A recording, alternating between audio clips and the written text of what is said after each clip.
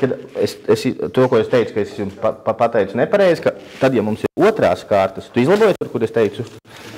Vai ne, ne gluži? Jā, bet te jau arī ir uzreiz iet ar pakāpi. Tad pirmā pakāpe, otrā pakāpe, un līdz tai kāp, mūsu gadījumā kā ir divi, vai ne? Mums ir uh, kvadrāts, tad mums ir divi saskaitāmie atbilst. Tāpēc.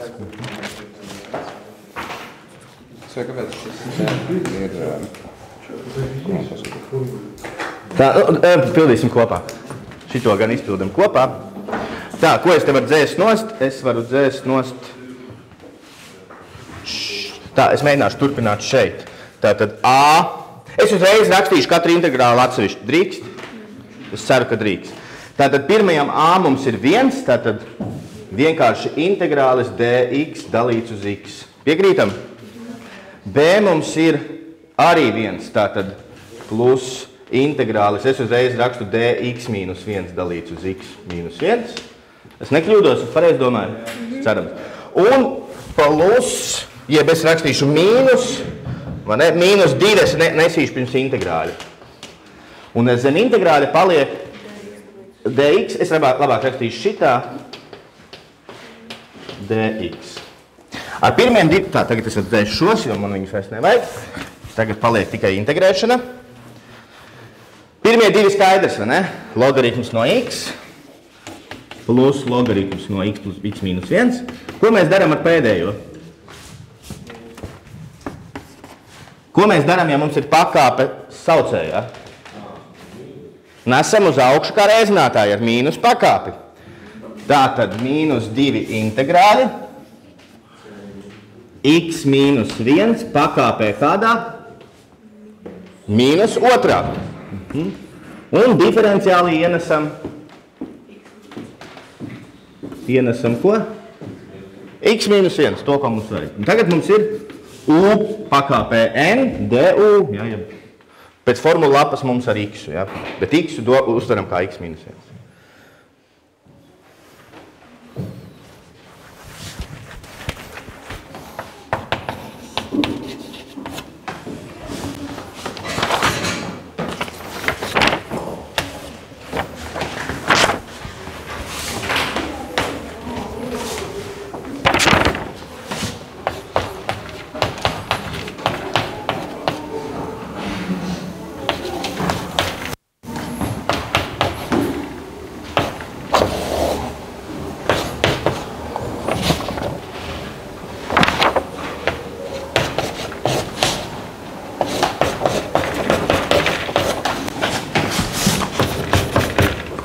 Tā tad pakāpe par vienu, nu, šeit es rakstīšu pēdiņas, mīnus 2, x mīnus 1 pakāpē mīnus 1, dalam ar jauno pakāpi mīnus 1.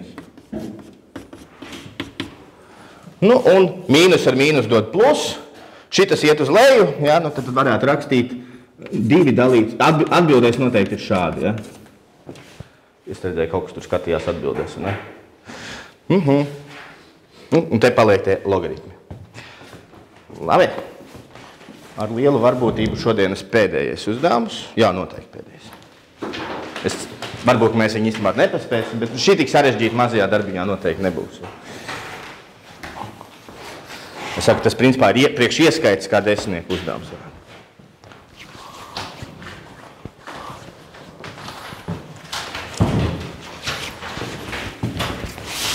Šeit, at, šeit atkal ir piemērs, kur mums kaut kādā ziņā ir jau palīdzēts jau sākumā, ka tas saucējs jau ir sadalīts reizinātājs. Ja te nekas no šī viedokļa baigi nav jādara.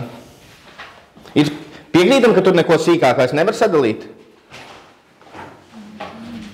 Man ne, jo tai x kvadrātā plus 1, viņam atkal tā ir kvadrātiska izteiksme, bet viņai diskriminants būtu negatīvs. ne? Tad, tad tā būs tā trešā veida. Tā būs tā trešā veida. Labi. Tagad izrakstam atsevišķi to daļu, kas mums ir. Un mēģināsim saprast, kādās summās viņš sadalīsies. Nu, Es ceru, ka jūs man sauksiet. Lai gan augša baigi atgādina kuba formulu, bet laikam, ka tur nav. Ja būtu visi plusi, tad būtu x plus 1 kubā, un ja te būtu mīnus un mīnus, te būtu plus, tad būtu x mīnus 1 kubā, bet šeit, šeit tas nav. Šeit nav neviens, ne otrs. Tā. Tad sākam par reizinātājiem, ejam cauri. Ja? Pirmais reizinātājs ir šis. Kura veida tā būs mums? Visi piekrīt, ka otrā. Ne? Un sakne šeit ir kas? Mīnus viens. Ne? Sakne mīnus viens, un viņa ir divkārša sakne. Tātad, ko mēs rakstīsim? A dalīts uz ko? Tātad, o- tas, kas bija tikko mums bija piemērs ar otrā veidu, tad mēs rakstām, pirmajam vienkārši rakstam x plus 1 ar pirmo pakāpi, nākamam rakstam ar otro pakāpi. Mhm.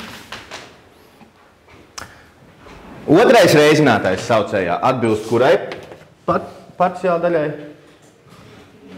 Trešajai, jo te ir kvadrātiski izteiksme, kurai nav reālu sakņu. Tātad, ko mēs te rakstīsim? Apakšā atstāšu x kvadrāts plus 1, savukārt augšā rakstam cx plus d. Lineāra izteiksme. Ja, tad, kur, tad, te, kur tas sarežģīsies? Tas sarežģīsies, ka mums jau ir četri tie koeficienti. Ja, un plusā mums ir tikai viena reāla sakne mīnus viens, kas ir divkārša. Ja? Tas šeit ļoti sa, sa, sa, sarežģīs tieši to uh, ABCD atrašanu. Bet es ceru, ka mēs līdz tam šodien tiksim. Gribētos. Vienādojums saucējs. Un te būs pavisam jau grūti. Sāksim, varbūt, sāksim no beigām. Sāksim no otras puses. Kas būs papildu reizinātājs pēdējam? x plus 1 kvadrāts, vai ne? Piekrītam? Jo x kvadrātā plus 1 re, kur ir, mums vajag vēl šito klāt. Tad x plus 1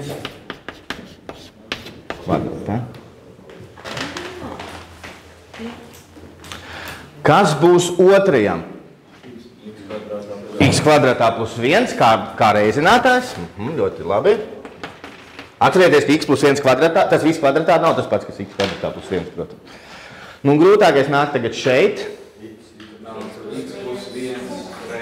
Aha, x plus 1, lai dabūtu kvadrātu iekaviņās, un vēl visa tā šī daļa. Mhm. Nu. Es saucēju, rakstīšu pēdiņas, tātad es ar pēdiņām saprotot šo. Un tagad te arī tā rakstam, visu pēc kārtas. Sanāk pagari, bet kurš teica, ka dzīve ir viegla? Tātad a reizi x plus 1 reizi x kvadratā plus 1. Tas ir tie reizinātāji pie a. Pie b ir vienkārši x kvadratā plus 1.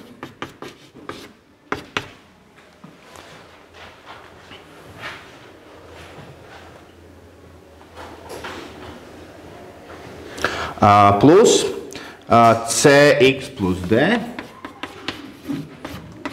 reizinām ar x, x plus 1 kvadrātu.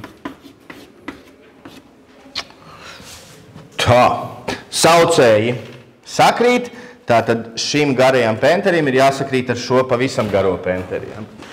Uh, rakstam ārā, rakstam ārā. Man īsti nav, es te apakšā mēģināšu. x kubā plus 3x kvadratā mīnus 3x plus 1 ir vienāds ar ax plus 1 reiz x kvadratā plus 1 plus b reiz x kvadratā plus 1 plus cx plus d reiz x plus 1 tas viss kvadratā. Šitāda vienādība mums sanāk. Ja? Šī tāda vienādība. Nu, kurš būs tas x, ko mēs pirmo noteikti varam ielikt? Un kas mums dos kaut ko labu? Cik? Mīnus viens piekrītam, jo mīnus viens mums bija sakne, tātad tur veidosies nulītis kaut kur. Ja? Liekam, x ir mīnus viens, skatāmies, kas mums paliek.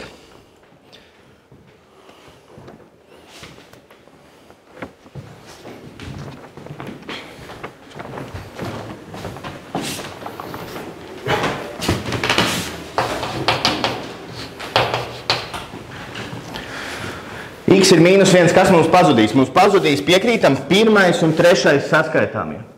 Piekrītam, šeit būs nulīte, šeit būs nulīte. Šeit būs nulīte. Tad paliks tikai šis. Ne?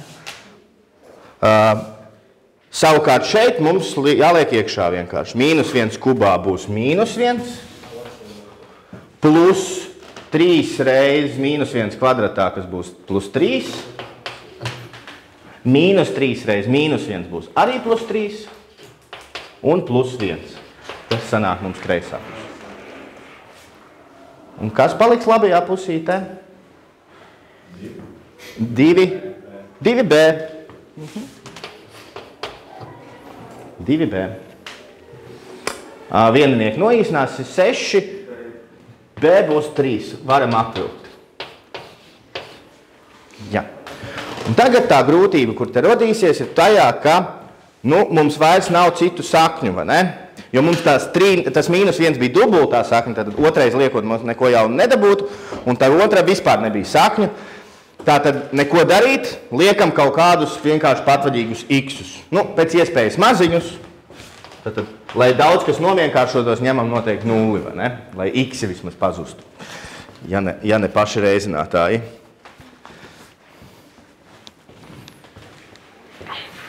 Mēs viens tos beidzam, ja? Es pareizi saprotu.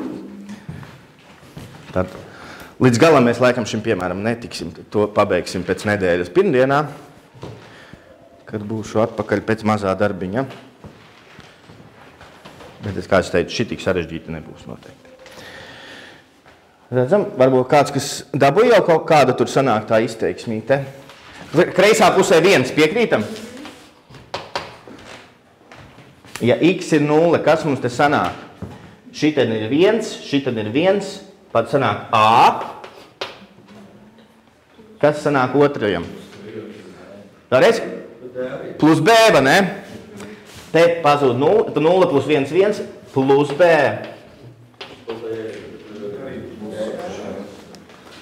Un plus, ā, kas mums tur sanāk šeit? CX pazudīs, piekrītam? Šī ir vieninieks, viens, viens reiz D būs D. Mm? Mēs iegūstam šādu izteiksmi, nu, kas mums pati par sevi neko nedod. Ne? Mēs, ne, mēs nezinām, kāds ir ABD. Labi, bet liekam citus skaitļus. Nu, ņemam pēc kārtas, ņemam x ir 1 un x ir 2. Jā, lai, man, lai mums būtu vienādi. Varējām ņemt arī citus, bet. Nu, uh, pēc iespējas mazākus, tad tas laikam ir vislab, vis, uh, vis, uh, vispateicīgākais, es tā gribētu teikt. Tā, es šito daļu, nu, man jādzēš, te būs nos, man vajadzēs tāpat. Šito arī es varu nodzēst. Man, principā, interesē tikai šitas. Ja. Pie x ir viens, nu te mazliet vairāk jāpas. Sanāks divi, es pareizi domāju, kreisā pusītē. Vai ne? 3 mīnus 3 noīsināsies, 1 kubā 1, 1 plus 1, 2. Hmm? Nu, tagad jau būs bišķiņi lielāki tur tie skaitlīši, tur ne- nenoīsināsies. Kas mums paliks pie A? Ir visiem 4. Aha, 2 reiz 2, vai ne? 1 plus 1, 1 plus 1, 2 reiz 2, 4 A. Tur ir vienkāršāk, jā, 2B. Tā. 2 kvadratā būs 4. 4C, 4D piekrītam? Jā, 4C. Vēlreiz? Uh, kas ir tas pats? Ne līdz galam sapratu.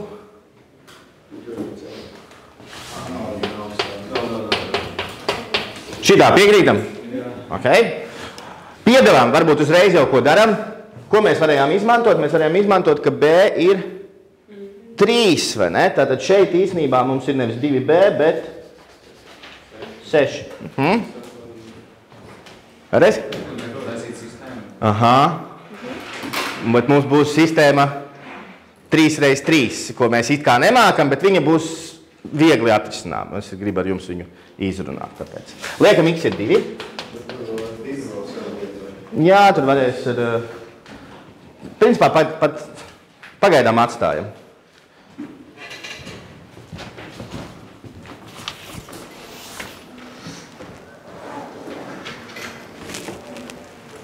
Tā, un īsnībā jau šitie jau arī mēs B vietā varējām likt skaitli. Piekrītam?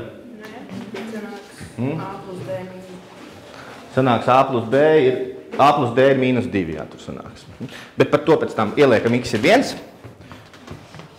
Un tad mēģinām salikt viņus tieši tā. Tiem visiem trījiem vienādojumiem, ko mēs tagad iegūsim, ir jāizpildās vienlaicīgi. Līdz ar to tas viss iet sistēmā. Un, ne? Un kas nozīmē mums sistēmiņa. Tā x ir divi vēl bišķi lielāki tie skaidrlīši, kas mums sanāk pirmkārt kreisajā pusē. 2 kubā 8 plus 2 kvadratā 4 reiz 3 12, ja es neklodos. Mīnus 6 un plus 1. Hm?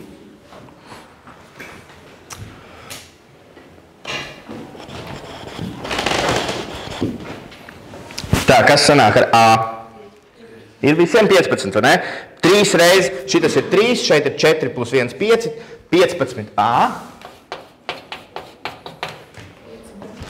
Ar B vienkāršāk, jā, 2 kvadratā 4 plus 1, 5B. Ja uzreiz varam likt 15, vai ne? Lai nekavētu laiku. Plus, ui, šī te būs grūtāk, piecinieks kā reizinātājs ir. Uh, 5, 5 reizes, bet x ir 2, tātad 2c reizes 5 būs 10c, piekrītam?